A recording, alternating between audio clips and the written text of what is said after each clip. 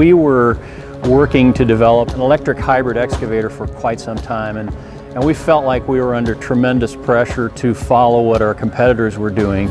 They had already introduced electric hybrids, we had not.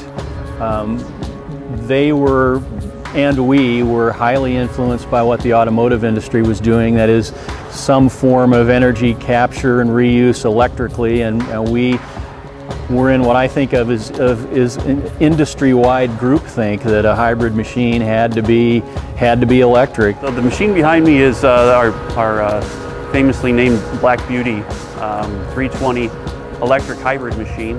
The challenge, of course, with the electric hybrid was not that the technology wouldn't work because the technology certainly worked. The challenge was with the cost.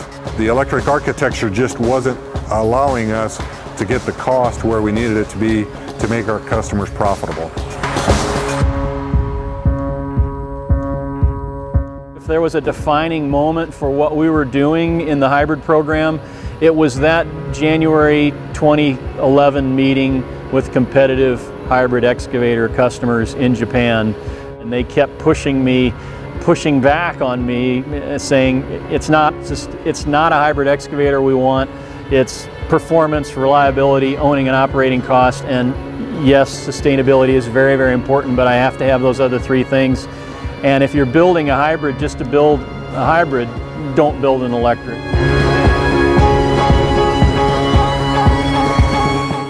So we really had a competitive um, approach being developed on the side and, and we kind of kept this team sequestered almost in secret. This is the machine that we affectionately refer to as Medusa.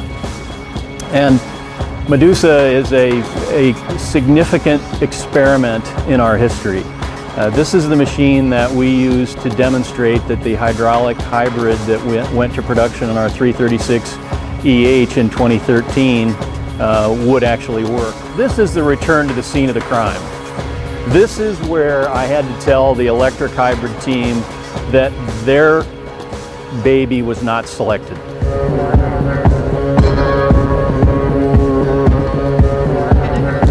It was difficult when it came when the decision came down that we weren't going to do it anymore, but um, we also understood the numbers behind it. We understood to do the right thing for Caterpillar. We wanted to uh, to make sure that we weren't uh, just taking something that we were, uh, you know, attached to, but that we were doing the right thing for our customers. The electric hybrid program was absolutely a necessity. We, we had to go through the development of the electric hybrid to know and understand what that technology could do for us. Without that, the hydraulic hybrid program would never have been successful. But what's really important is our customers are voting for the path that we ultimately chose.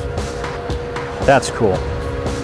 About one every, uh, out of every three machines now sold in that size class is a hybrid. We're going to keep her because she's a great example of experimentation. And we, want to, we don't want anybody to forget that.